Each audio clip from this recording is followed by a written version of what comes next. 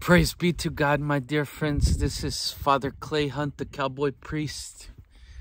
And I want to tell you that I love you very, very much. And in the midst of this depraved and crooked generation, that's why it is all the more necessary for us to stay close to God.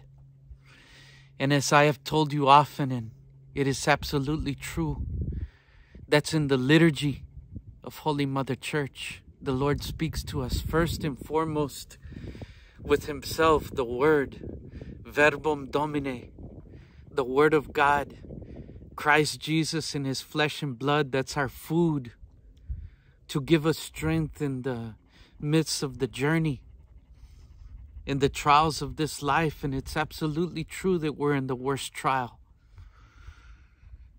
And if it's any consolation to you, we're all in the same boat.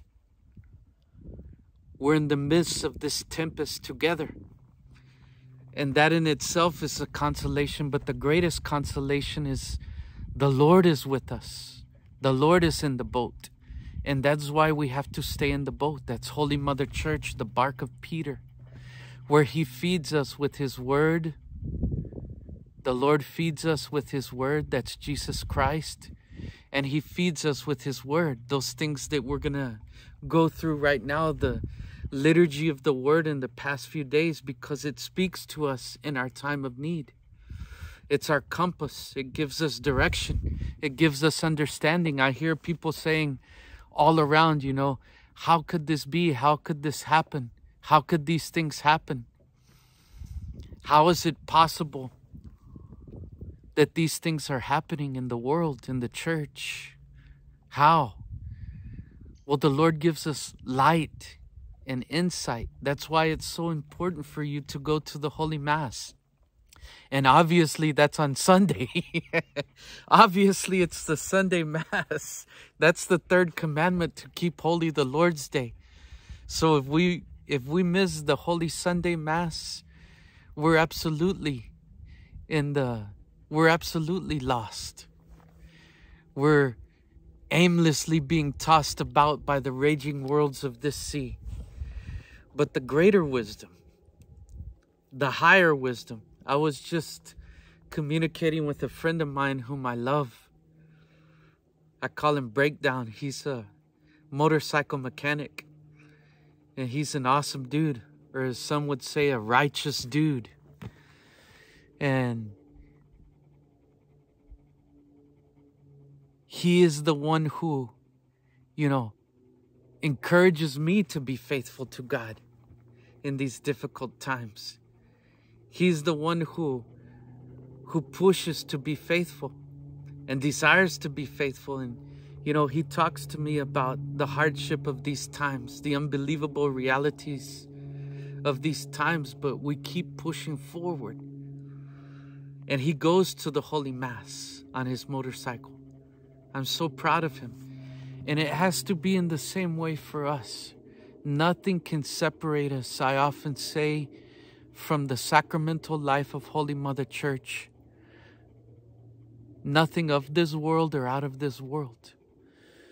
Because that is the only pillar that we have to hold on to.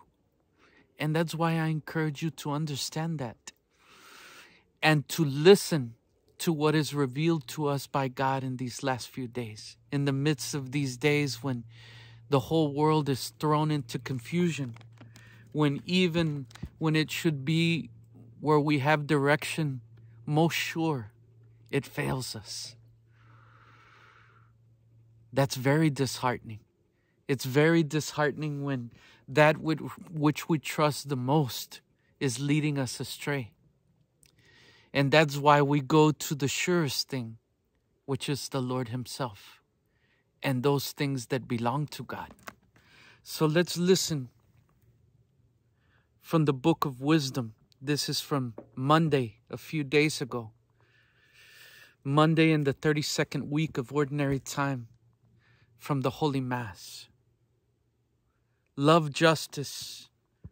The Lord says, You who judge the earth, Think of the Lord, in goodness and seek Him with integrity of heart. That's why your hearts have to be with integrity.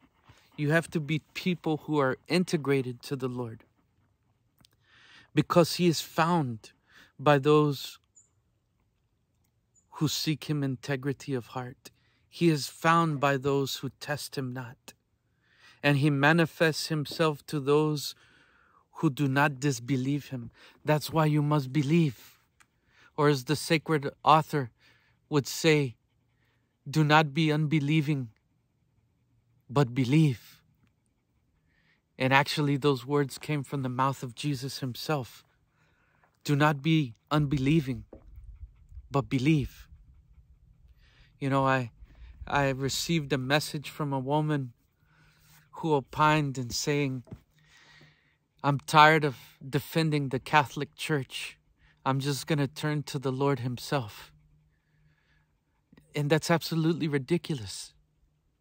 That's a that's a a false premise in the argument that she's making. Because if we turn our back on the covenant, we turn our back on the Lord himself. In other words, he will not be able, we will not be able to find him anywhere else in the world. He is with us in the Holy Eucharist.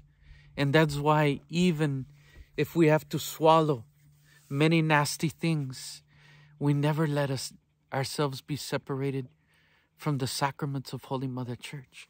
Even if we have to listen to a jackwagon saying foolish things, we never allow that to separate us from taking the Holy Communion.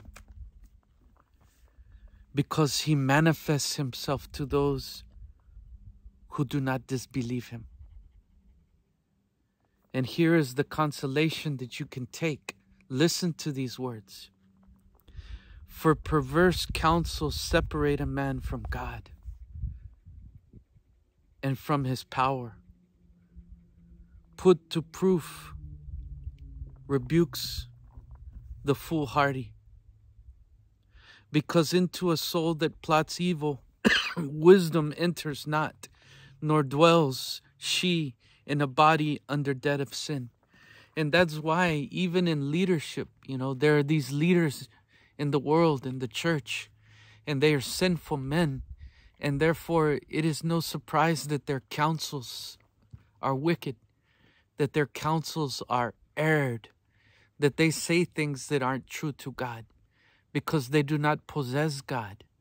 And that makes it difficult for us to stay in the boat. But we have to be more mature in our faith to God. We have to be in fullness of maturity to understand these things, and that in fact we can persevere as faithful Christians to God. For the Holy Spirit of discipline flees deceit. That's why, even if they talk, I know this guy that's such a jerk, he's constantly invoking the name of the Holy Spirit. Come, Holy Spirit, come, he says. come, Holy Spirit, come. But he is absolutely void of the Holy Spirit because he is a man of deceit. And he is one to whom much has been entrusted. But I don't be, I don't abandon the Lord because of the bad behaviors of this man. And nor should you for the bad behaviors of any man abandon to the Lord. That's what is necessary for you to understand and to be able to see that it is right and true that they are void of the Holy Spirit because they do not follow the ways of the Lord. And therefore, they try to convince us of everything of the spirit of the world because they belong to the spirit of the world. Or as the Lord Himself told them, You follow your father. And they said, Our father is Abraham. Jesus told, You are sons and daughters of the father of lies. That's the devil. And that's why they do what they do, why they say what they say, why they act as they act.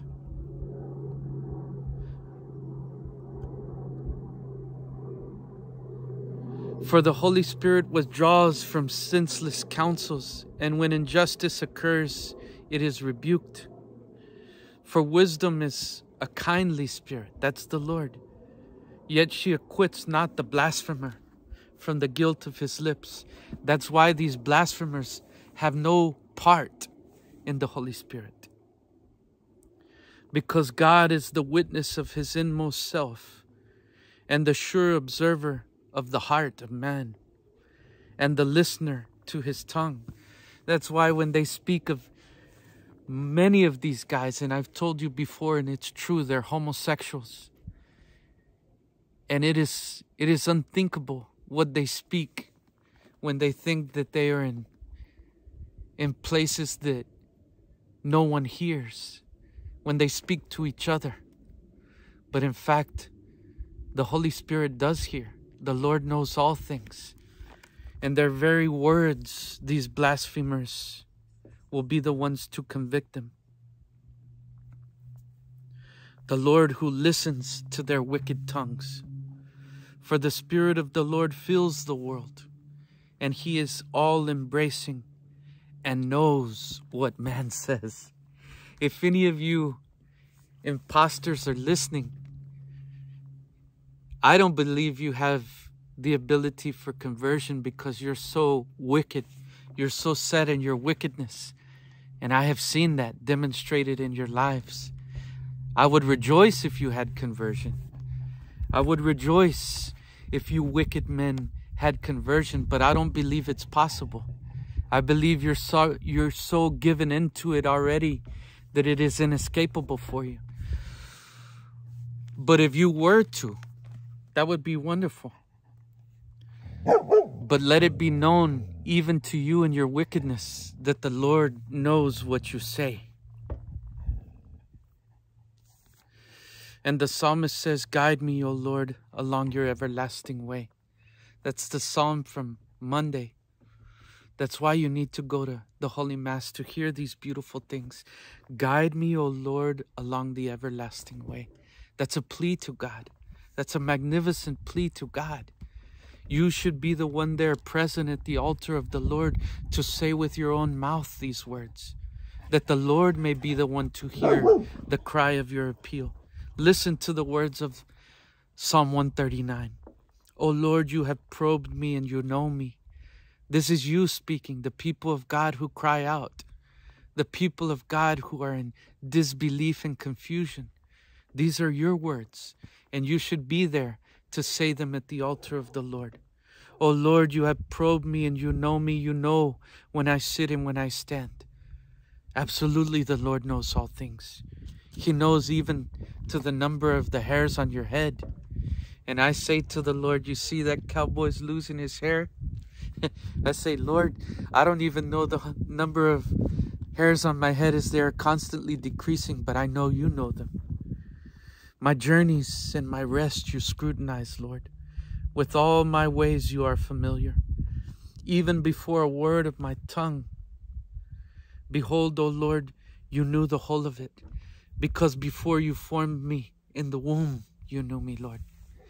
That's why abortion is so wicked to God. He knows the little ones even before they are formed in the womb. They are precious to Him. And that's why we have to fight against foolishness, like the foolishness they did recently in Ohio. I attribute it to voting machines manipulating the votes and also for the lack of solicitude of God's people to be militant to the things of the Lord. They will be accountable, and so will they. Behind and before you hem me in, and your hand rests upon me, O Lord. What great confidence I have in the Lord. Such knowledge is too wonderful for me, too lofty for me to attain. How magnificent you are, O Lord. Where can I go from your spirit? From your presence, where can I flee? If I go up to the heavens, you are there. If, if I sink to the nether world, you are present there. If I take the wings of the dawn and if I settle in the farthest limits of the sea, even there your hand shall guide me and your right hand hold me fast. Blessed be the Lord. And that you may take consolation and confidence to God. Listen to the words he said of these wicked religious leaders on the Holy Gospel from Monday, from the Gospel of Luke. Right on time you are, Lord. Right on time you are for the need of your people. Jesus said to his disciples, things that cause sin will be, will inevitably occur. Things that cause sin will inevitably occur. So these things that these wicked men are doing cause many people to sin. Like that woman who told me she's tired of defending the Catholic Church. That means she's going out of the church.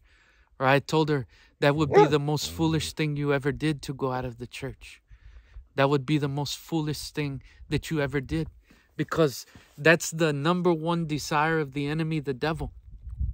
By whatever means, by whatever means, to separate the human person from the covenant to God. By whatever means. And there are many because of the bad behaviors of these men in high places who are caused to sin. Many who are caused to sin. But we can't allow that. We can't allow their bad behaviors to cause us to sin.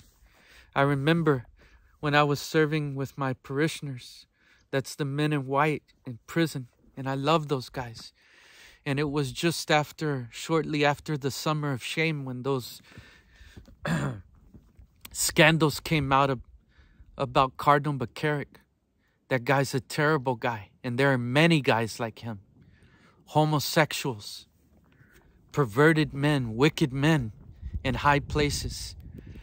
And so I go into the prison, and these guys are there, and we we always I hear their holy confessions, and then we celebrate the holy mass together, the holy sacrifice of our salvation.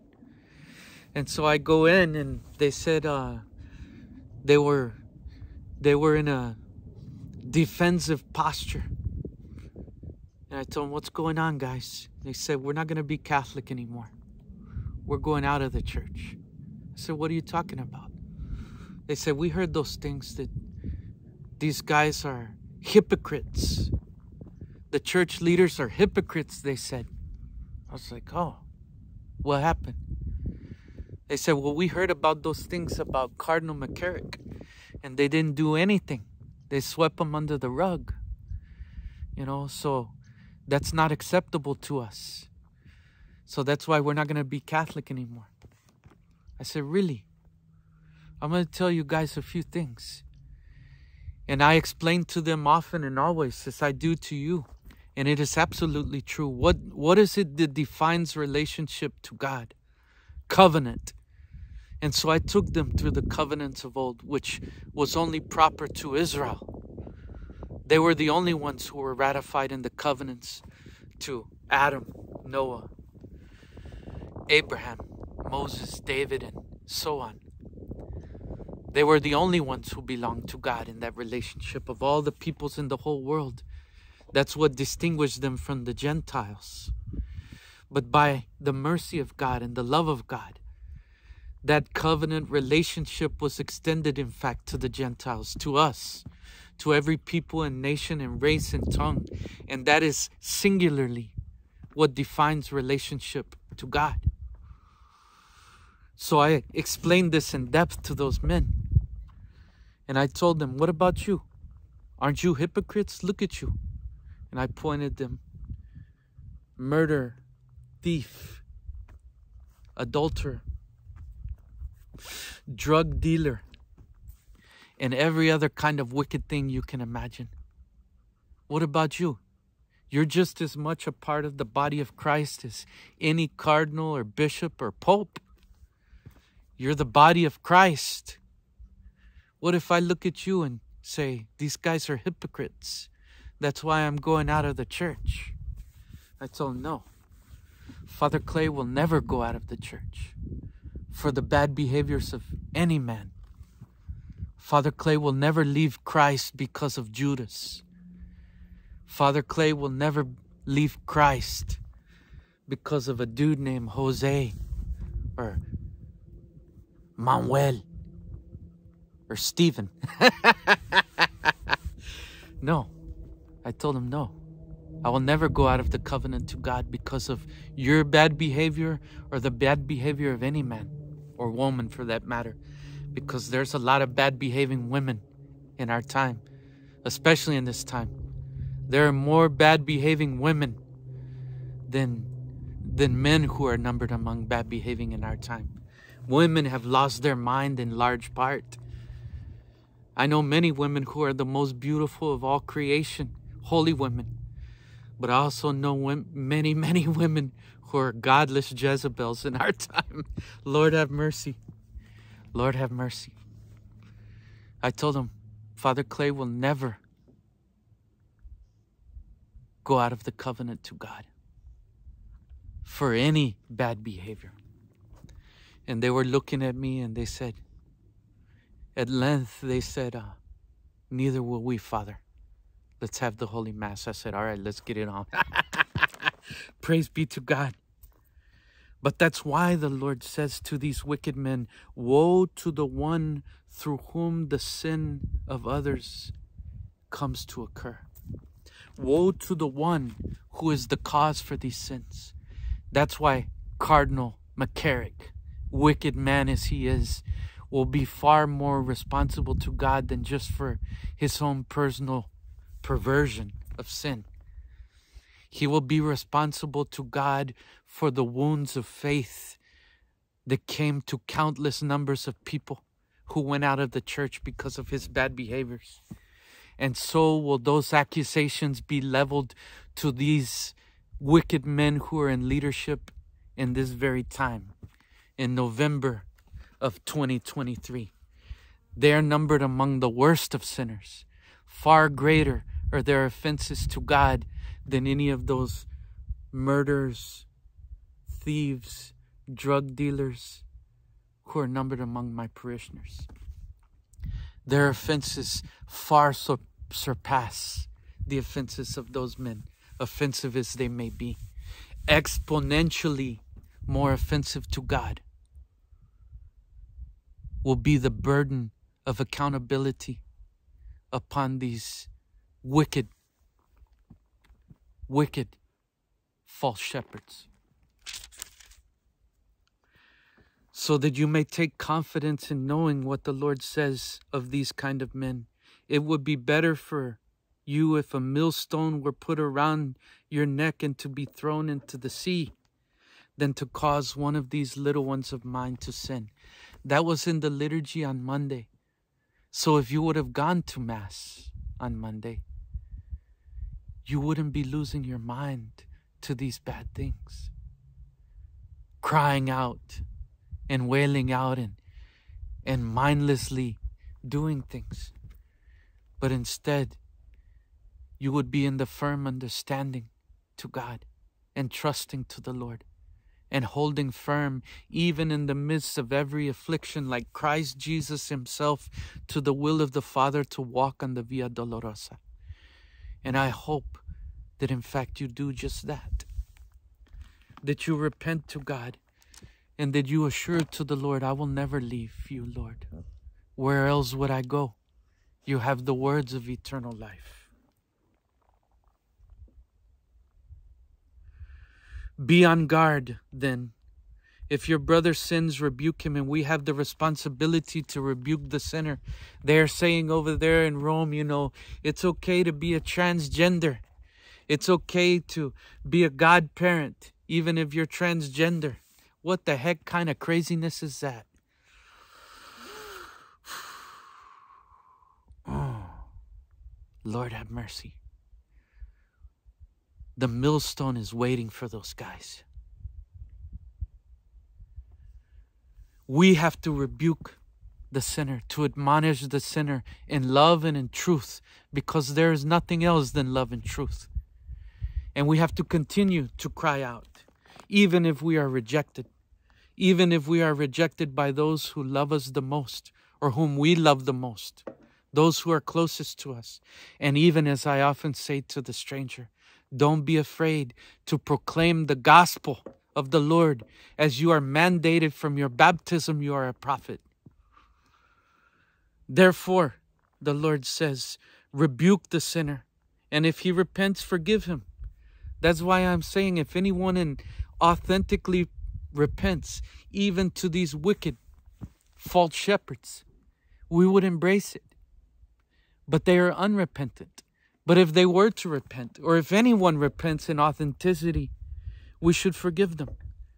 And if he wrongs us even seven times in one day and returns saying, I'm sorry, repents, we are bound to forgive them. I was just talking to a woman earlier, you know, deeply wounded by the offenses of her husband and saying, I don't know if uh, it's possible. I'm thinking, you know, maybe God wants me to get a divorce. I told her, woman, don't think crazy. Don't allow such crazy things to even enter into your mind, lest they seize upon you, unless it come to be in that way. For marriage is holy to God. How many priests or how many people who profess themselves to be Christians would be telling other people, yeah, it's already time for you to leave. You know, you should be the one to walk out of your marriage. You don't deserve this. what was it whenever they told to the Lord to throw off his cross? He told him, Get behind me, Satan. And that's the same thing you should tell anyone who would offer such foolish counsel, and especially if it's a priest. You should slap that priest. And the apostle said to the Lord, Increase our faith. And I hope you say to the with the same words from your own mouth, Increase our faith, Lord. The Lord replied, If you have faith the size of a mustard seed, you would say to the mulberry tree, Be uprooted and planted into the sea, and it would obey. How wonderful and magnificent and powerful is the Lord. And then we move forward to today, where the Lord continues to give us insights to the darkness that encroaches against us. Light itself comes to us. I hope you go to the Holy Mass today, as I promise you I will. Father Clay hadn't missed the Holy Mass one single day in more than 20 years because I know, especially I know my poverty. And that's why I absolutely need the Lord. Sinner as I am, poor as I am, I know that's why I have to go to the Holy Mass every day. To eat the bread of life, of which Jesus said, If you eat my flesh and drink my blood, I live in you and you in me. And I will raise you on the last day. I trust to the promises of the Lord. And that's why I will be celebrating the Holy Mass shortly. From the book of wisdom, it says, admonition to those who are given responsibility over others. That's to you, jokers. You jokers. It says, Hear, O kings, and understand. Learn, you magistrates of the earth's expanse. Learn, hearken, you who are in power over the multitude and lord it over throngs of people. That's you whether you sit on high seats in Jerusalem or in Baltimore, these words are for you because authority was given to you by the Lord. The sovereignty by the Most High, who shall probe your works and scrutinize your counsels, because though you were ministers of his kingdom, you judged not rightly and did not keep to the law, nor walk according to the will of God, you wicked men. Tremble and swiftly and terrible shall the Lord come against you because judgment is stern for the exalted. For the lowly man be pardoned out of mercy. That's like those guys that I serve in prisons The lowly will be pardoned out of mercy, but the mighty shall be mightily put to the test. For the Lord of all shows no partiality, nor does he fear greatness. Some of these guys, in their arrogance, they think they're so great, the Lord disdains them. I'm telling you, when you see those wicked guys, there is nothing more repugnant to the Lord than their than their stinky backsides. They are wicked, wicked men to the Lord these guys that we are burdened with in our time. Because he himself made the great as well as the small, and he provides for all alike. But for those in power, a righteous scrutiny impends. And that's why you don't have to be, you know, so disconcerted as if these wicked men will get away with their bad behaviors. Yes, your hearts are burdened. Yes, they are heavy. Yes, you have to cry and to pray even more. Do not become wearied. Trust to the word of God. All things will be put into order. And in fact, even as the, the passing of the days becomes more heavy, I recognize to the Lord, I say to the Lord, all the more sweeter will be the day of vindication when you when you bring it forth lord. And that's absolutely true. And that's why i want you to understand in that way. To you therefore the lord levels this account against them o princes princes of the world princes of the church. Are my words addressed to you that you may learn wisdom and that you may not sin Lord, it will be an amazing miracle if those guys turn from their sin. I will praise you forever for that too, Lord. I always praise you. That will be, that will blow my mind if these guys come to conversion. they are so wicked. For those who keep the holy precepts hallowed shall be found holy, and those learned in them shall have ready a response. And that's why I do want you to be holy. I want you to be in possession to these wisdoms. Desire therefore my words, long for them, and you shall be instructed. Praise be to God. And the psalmist for today, our very words rise up, O God, bring judgment to the earth. Come, Lord Jesus. Every day that passes, I tell the Lord in my prayers, it seems to me like that's a day too long but I defer to your judgment, Lord. That's what I tell God every day. Defend the lowly, please, Lord, and the fatherless, those little ones, as you call them, the Anawim. Render justice to the afflicted and to the destitute. Rescue the lowly and the poor, those who cry out, Lord, those who are so thrust into the deep waters of unknowing. Deliver them from the hand of the wicked. And I said, the Lord said, You are gods, and all of you sons of the Most High. Yet like men you shall die and fall like any prince. That's why we have to understand. We will all die. We all have to walk the Via Dolorosa. And that knowledge gives us strength to take one more step. Or as the old saying goes, one day at a time. One day at a time sweet Jesus.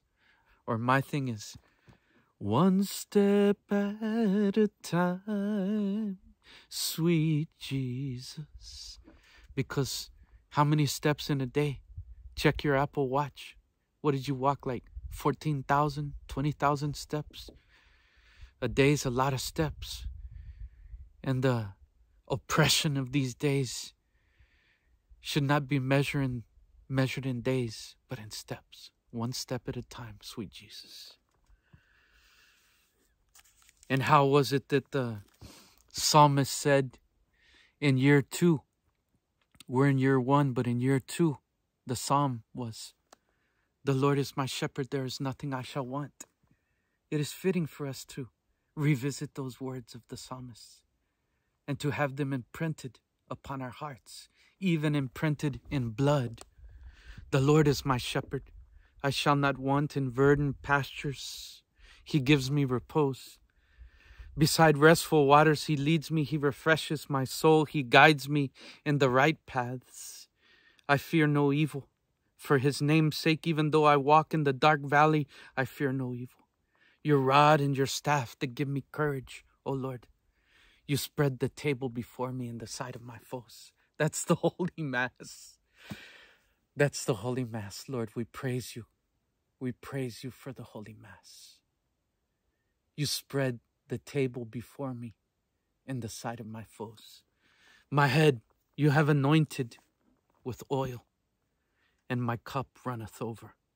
Only goodness and kindness shall follow me all the days of my life, and I shall dwell in the house of the Lord for years to come.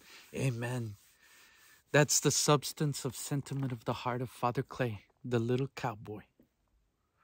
And what does the Lord say in the Holy Gospel for today? From the Gospel of St. Luke. As Jesus continued his journey to Jerusalem, he traveled through Samaria and Galilee.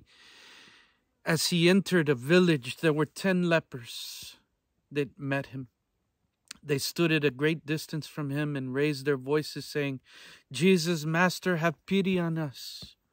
And when he saw them, he said, Go show yourselves to the priests. See, he instructed them to the covenant to Moses. Go show yourselves to the priest. Follow the ways that the Lord has established. And that's the same way to us. What a great wisdom. That's why I tell you go present yourself to the priest, go show yourself to the priest because the holiness or lack thereof of the priest is not what affects the grace. The Lord Himself, wisdom itself, wisdom personified, the Holy Spirit is the one who forgives your sin. The Holy Spirit, even if you receive the Eucharist at the hand of a wicked man, it does not diminish the efficacy of the Eucharist. The grace is fully potential to come to you, even despite the holiness or lack thereof of the minister. And that's why you can never stop going to Mass. Present yourself to the priest, the Lord said. And that's why you do have, that's why you have to also. That's why you have to also. That's why I'm telling you. Be wise beyond the world. Be wise in the things of the Lord. Present yourself to the priests Jesus told them. And as they were going, they were cleansed. As they were going, they were cleansed. You see? You see how the Lord works? He's the one who sees these little things to the human person, to you and I. And that's why what determines our life to God is to be faithful to these things, not any other way. And one of them, realizing that he had been healed, turned, glorifying God in a loud voice, and he fell at the feet of Jesus and thanked him. He was a Samaritan. And that's why you see these things. I see a lot of people in the world, and many of them who do not belong to the covenant. But even though they are saved through the covenant, through the grace of the covenant that comes like a blanket over the whole world, they are saved by that grace, even though they do not belong to the covenant. Because, in fact, the Lord sees the heart and the mind of the human person. We are mandated to proclaim the covenant. And unlike those jack wagons who told the young people, We're not here to, to bring people to Jesus Christ, they told them that at World Youth Day. Man, I would like to pull a quirt or a bullwhip on those guys. Ridiculous, ridiculous, blind leaders of the blind. And even worse than that, they are numbered among those whom the heaviest millstones await. That they told the youth that at World Youth Day. Jokers. But in fact, we are mandated to say even to the stranger and the foreigner the truth of the faith, the covenant new and everlasting. But judgment is ultimately to God. We are called and mandated to insist to people the necessity to be in the covenant. But in the end of all things, God alone is the judge. And there are many who belong in the covenant who will, who will lose eternal life because of their wickedness. Much has been entrusted to them, and much will be required. And there are many who are outside of the covenant who will be lost, most probably, because of their lack of solicitude to the covenant. But even in God's mercy, I believe there will be many who are pure of heart and pure of good intention, that even though by some reason they do not belong to the covenant, they will even be numbered among the greatest in the kingdom of heaven, because God alone is the judge. But we, we straight up make it our business to proclaim the covenant to anyone who will listen, and even those, even to those who try to close their ears. So this foreigner a Samaritan came to Jesus, and Jesus said in reply, Ten were cleansed, were they not? Where are the other nine? Has none but this foreigner returned to give thanks to God? Then he said to him, Stand up and go, for your faith has saved you. God bless the Lord, and God bless to you. I hope that you can understand these things and that you can draw strength from them. And I hope that you engage to the fight. Because just like all the holy ones who have gone before us, St. Catherine of Siena, St. Teresa of Avila, St. Joan of Arc, all those are women, by the way. St. John Henry Newman, that we recently celebrated. St. Albert the Great, a holy bishop to God that we celebrate today we are bound and mandated to be faithful to God in our own person and to the degree that it is possible to us to proclaim it, even from the rooftops. I hope that you're faithful to God and that even for all the discouragement, it would not discourage you. That you would respond to the grace of these last days to be, in fact, a saint, to be very holy to God even though those words may be terrifying to you to be a saint. That's what we're called to. And these bad behaviors should push us to that very end. The Lord be with you. And through the intercession of the Holy Saint Albert the Great, Bishop of our Lord Jesus Christ, priest of our Lord Jesus Christ, through the intercession of those courageous holy women of days gone by, May Almighty God bless to you and yours the Father, the Son, and the Holy Spirit. Amen. Adios. Bye.